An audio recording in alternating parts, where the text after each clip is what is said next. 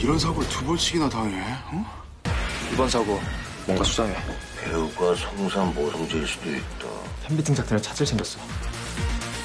실라고요. 윤 선배가 남긴 목각상 우리가 꼭 찾아야 된다.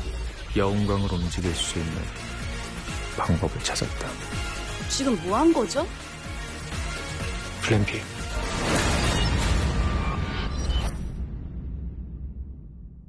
JTBC